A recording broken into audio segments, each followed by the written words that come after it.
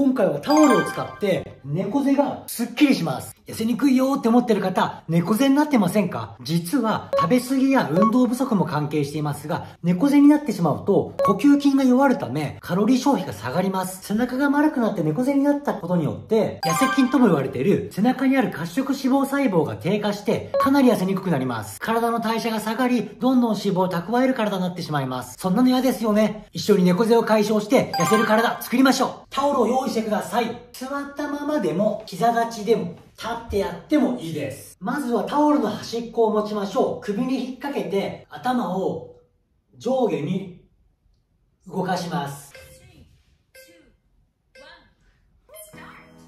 タオルを下に引っ張りながら首を動かしてください。首のこりがほぐれてきます。好きな体勢でやってくださいね。途中で体勢変えてもいいです。立ったり座ったり膝立ちになったりしながらやってください。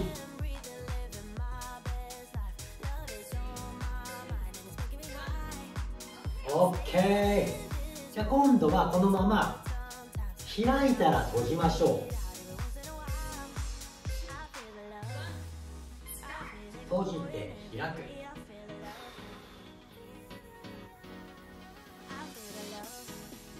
座ってやる人はねできるだけね背筋を伸ばした感じでやってください。座っとくのもね結構あぐら難しい時ありますからね。そういった場合は膝立ちでもいいし硬いところでやる場合は立ってやってもいいです。OK 今度は万歳したら頭の後ろに下ろす。また上げる。肩甲骨動かしていきましょう。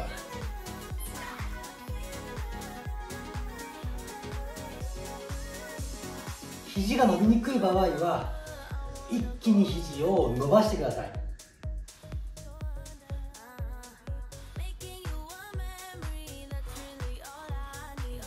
肩がだるくなったらね途中で休みながらやってください。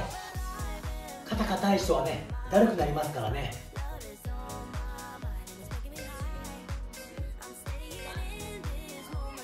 OK で今度はこのまま左右に体を倒しましょう。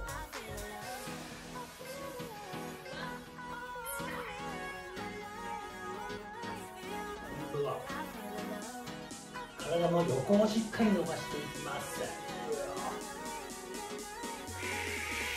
伸びる。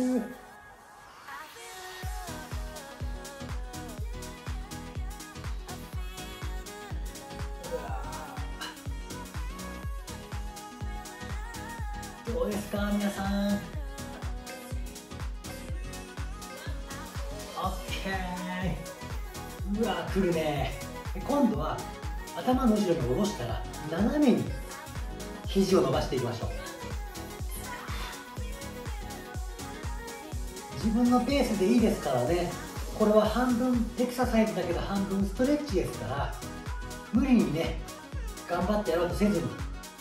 リラックスした気分でやってください。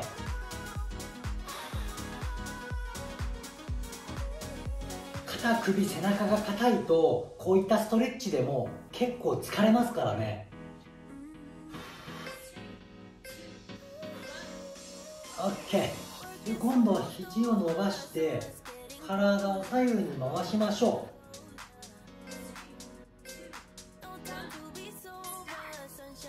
体を振ります。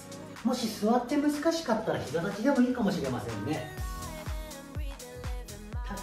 横に回すこの動きは座ったらちょっと難しいかもです。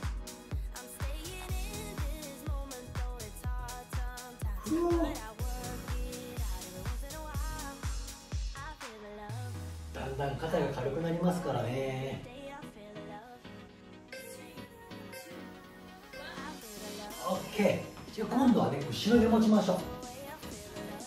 ういう感じ。上下に動かします。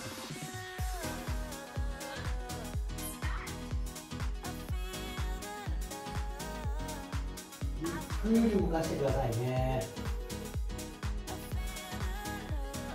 もし誰かあったら休んでくださいね。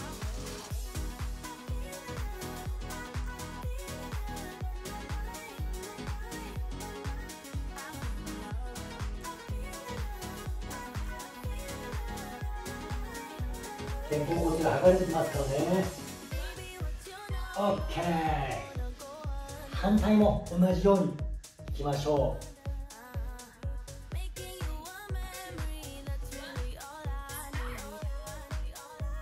長さは調整してくださいね。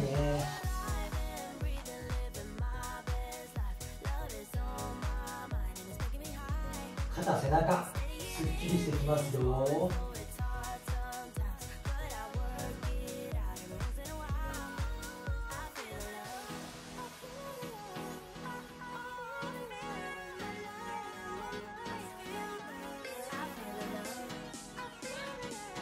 よっしゃ OK で今度はこのままね後ろに動かします。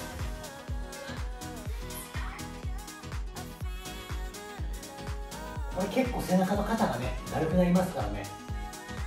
休みながらやってください。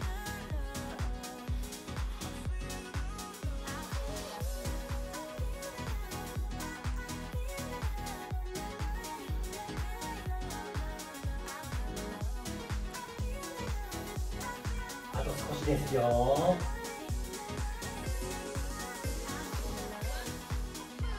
OK で今度は腰で横に動かしていきます。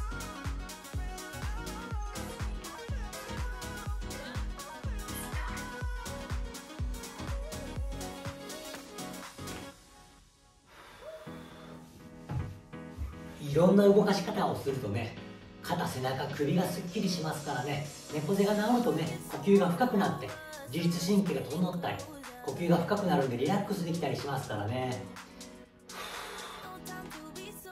ちょっと肩はだるいかもしんないけど。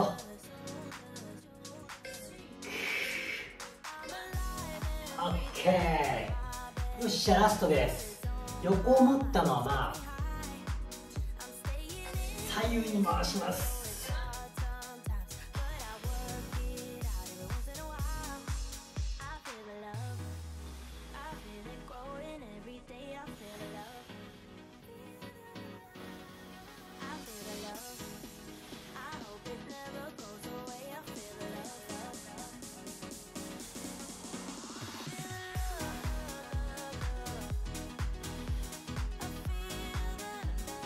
ーし。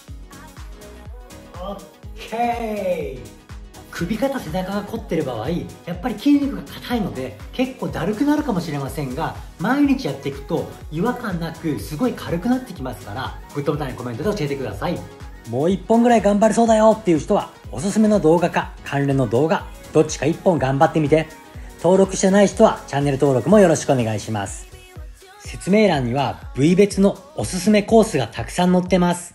自分の好きなのを選んで1週間頑張ってみてください。ご視聴ありがとうございました。